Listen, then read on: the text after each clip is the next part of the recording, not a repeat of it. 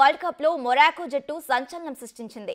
League దశలో ప్రపంచ రెండో ర్యాంకర్ బెల్జియం జట్టుపై విజయం సాధించి జోరు పెంచింది.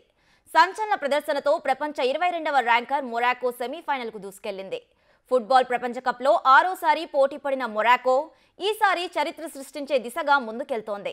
ప్రపంచ తొమ్మిదవ ర్యాంకర్ పోర్చుగల్ జట్టుతో శనివారం జరిగిన మూడో క్వార్టర్ ఫైనల్లో మొరాకో ఒకటి సున్నా గోల్ తేడాతో గెలిచింది.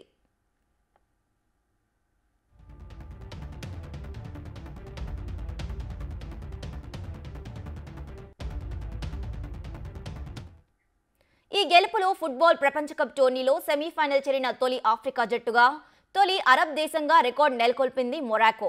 ఆట నలభై రెండవ నిమిషంలో ఎడమవైపు నుంచి అతియుత్ అలా అందించిన పాస్ను ఢీ ఏరియాలో యూసఫ్ ఎన్ నెసిరి అమాంతం గాల్లోకి ఎగురుతూ హెడర్ షాట్తో బంతిని గోల్ పోస్ట్లోకి పంపించాడు. దాంతో మొరాకో తొల అర్ధిభాగాన్ని ఒకటి సున్నాతో ముగించింది.